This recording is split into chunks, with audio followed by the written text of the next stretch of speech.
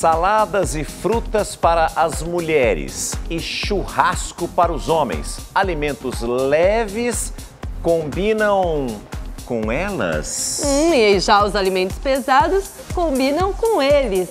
Agora, será que está correto isso, César? Olha, não sei. Eu tenho minhas dúvidas, Tiziane. É, a gente tem TPM, né? A gente tem aquela. A gente? Não, a gente, Ah, nós mulheres. Ah. temos TPM. Agora, será que os homens precisam comer mais do Eu que as acho, mulheres? eu acho. Eu Vamos sou ver? comilão, eu sou comilão. Vamos descobrir juntos, então? Vamos. Agora. Eles têm fama de comer de tudo e muito. Nós homens gostamos mais de uma fritura, uma proteína, mais, um churrasco, uma pizza. Torresmo, né? Já elas seriam mais seletivas e saudáveis. Eu gosto muito de salada. Não engorda, pra começar, né? E é bom pra saúde. Mas não resistem a um docinho. Todo dia eu como doce. Será mesmo que é sempre assim? Ou não passa de um clichê? Existe diferença na alimentação de homens e mulheres? Que existe é, a diferença da proporção dos alimentos. Assim, o homem ele tem uma necessidade proteica, uma necessidade calórica um pouco maior que a mulher. Você sabe quanto o homem deve comer por dia? E a mulher? Aí todo mundo vai dizer, depende do trabalho, da atividade física, de quanta energia cada um gasta. E tá certo. Mas tem um cálculo que é feito para quem não quer perder peso nem ganhar, para ficar assim estável. É desse jeito. Para cada quilo que a gente tem, é preciso consumir 30 calorias por dia. Aí tem que fazer a conta. Em geral, o homem é mais pesado, tem mais massa muscular. Desse lado da mesa está a refeição dele. Ao longo de 24 horas, um homem de 80 quilos, por exemplo, tem que consumir 2.400 calorias. Tem até pizza aqui, mas é para consumir 24 horas, não é de uma vez só, não. E uma mulher de 60 quilos, precisa de menos, 1.800 calorias. Essa outra parte da mesa aqui. Outros fatores biológicos também podem influenciar na hora de montar o prato, em especial os hormônios. A dopamina ajuda a aumentar a atenção e traz uma sensação de energia, disposição. Por isso, os homens tendem a ir em busca de alimentos que estimulem a produção desse hormônio, como carnes e gorduras. Existe a questão fisiológica, que o homem necessita mais proteína. É interessante principalmente para manter uma porcentagem de massa magra, de musculatura maior que o homem tem. Já para as mulheres, a serotonina é que tem influência maior no equilíbrio do organismo, trazendo bem-estar e bom humor. Alimentos com açúcar ajudam a estimular esse hormônio. Alivia aqueles sintomas de irritabilidade, mau humor, labilidade emocional. A influência dos hormônios não para por aí. O homem é, ele tem principalmente testosterona, que é um hormônio que aumenta a massa magra, musculatura.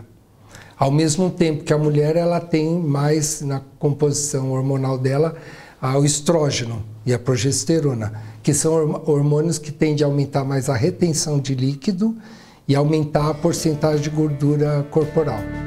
Mas quando entram na menopausa, em média depois dos 45 anos, as mulheres têm uma queda nos hormônios estrógeno e progesterona, o que pode provocar perda óssea.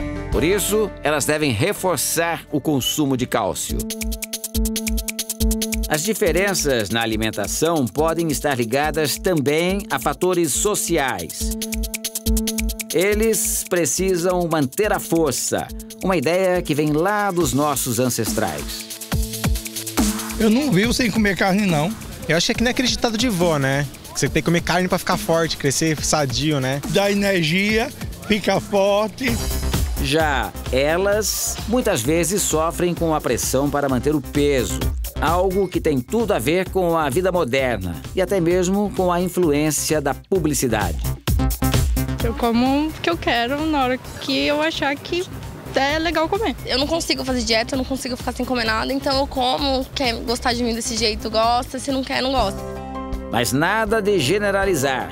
Hoje em dia, o que todo mundo busca mesmo é uma alimentação saudável.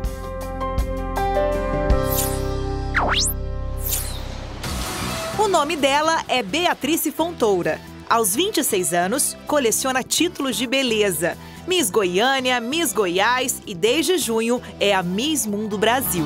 Em dezembro, ela vai representar o país no Miss Mundo 2016 nos Estados Unidos. E apesar de se preocupar bastante com as medidas, ela não resiste a uma tentação. Eu não nego doce, me deu vontade eu como, não sem culpa. Diante de uma mesa assim, farta de delícias, é mesmo difícil. Tudo aqui foi feito pela doceira Sara. Confeitaria é uma paixão, né? A gente faz parte de celebrações na vida das pessoas e isso é muito legal. Mas não é só nas festas que a Beatriz tem vontade de comer doces. Na TPM, porque é quando eu como muito doce. TPM, a famosa tensão pré-menstrual, aumenta a vontade de comer doce. Mito ou verdade? Verdade. Durante o período pré-menstrual, o nível de serotonina no cérebro das mulheres cai. A serotonina é a substância responsável pelo prazer e bem-estar. Essa queda da serotonina gera uma procura de alimentos que aumenta a serotonina, e são principalmente carboidrato amido. Só que para ser mais rápido e eficiente, eles, elas acabam optando por carboidratos simples, diretos como açúcar. E o especialista alerta: açúcar pode viciar justamente por causa da sensação de prazer. Beatriz adora sobremesas de sabor suave, delicado. Tem algum doce que você gosta oh, mais? Eu gosto muito do cheesecake, porque ele não é tão doce. E também não dispensa brigadeiros. Hoje vai provar um de chocolate belga. Hoje eu tô numa onda assim desses brigadeiros diferentes, brigadeiro gourmet. O, o segredo é você ir em doces menores. Para ela, comer um docinho de vez em quando diminui a ansiedade e alegra a vida. Doce dá uma dá um pique assim, né? Dá uma dá um sorriso. Você tá sorrindo? eu tô sorrindo, é porque eu comi o um docinho aqui, fiquei feliz, né? É bom, né?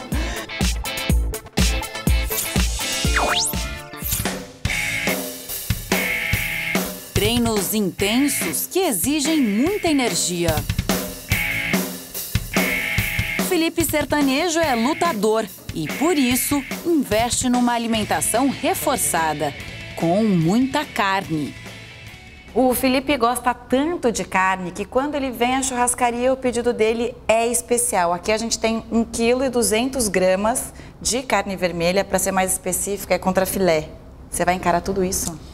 Olha, Camila, eu como um bom carnívoro farei esse grande esforço, né?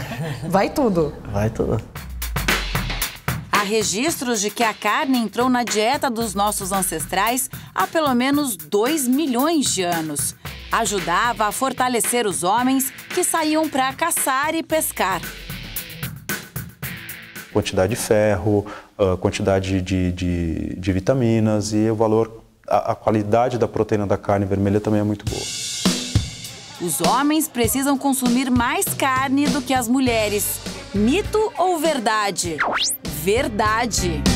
Então, geralmente, uma porção menor de proteína para a mulher pelas necessidades uh, proteicas dela de uma maneira geral e o homem, por ser mais pesado, por ter uma massa magra, uma massa corporal uh, uh, magra, maior, maior do que a mulher, necessita de um pouco mais de proteína. Então, vamos preparar esse almoço do Felipe. O churrasqueiro corta e tempera a carne. Depois coloca o filé na grelha. O seu treino é muito intenso. Você treina pelo menos quatro horas por dia. quatro, quatro a cinco horas por dia. Tem que ter sustância. Tem que comer no outro lado. Carne, né? Essa aqui é bom que eu já acumulo, já dá para treinar, fazer os três treinos no dia. Para saber quanto se deve comer de proteína, basta fazer uma conta simples, que vale para homens e mulheres. Você deve multiplicar o seu peso por 0,8. Uma pessoa de 70 quilos, por exemplo, precisa comer 56 gramas de proteína por dia. Um bife de contrafilé como este, por exemplo, tem mais ou menos esta quantidade. Agora, como qualquer outro alimento, tomar cuidado com excesso. Mas acho que essa refeição do Felipe extrapolou um pouco a cota. Isso aqui não é exagerado, não? Não, isso aqui pra mim não. Não, tô brincando. É, é 1,2 kg, acho que ela, ela dá uma encolhida, né? 900 gramas. Mas eu acho que dá pra encarar, dá pra encarar. então, bom apetite. Obrigado.